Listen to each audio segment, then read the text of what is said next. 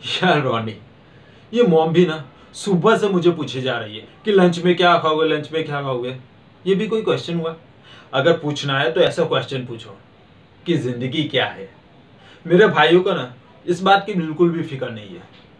Sandy कहता है कि life is a chocolate milk shake and girls सिवाय कहता है कि ज़िंदगी कामयाबी है, पर मुझे लगता है अभी भी बहुत कुछ है। मैं जब भी अपनी फैमिली को देखता हूँ ना, अपनी मॉम को, और मिस्टर ओबेरो को देखता हूँ ना तो मुझे लगता है कि कामयाबी की कोई कीमत ही नहीं है। उनके पास बहुत पैसा है, बहुत कामयाबी है, पर सुकून नहीं है ना। मेरे लिए मेरी कामयाबी, मेरा सुकून है। शायद इसलिए मेरे भाइयों को मेरी बात समझ में नहीं आती लेकिन मैं समझता हूँ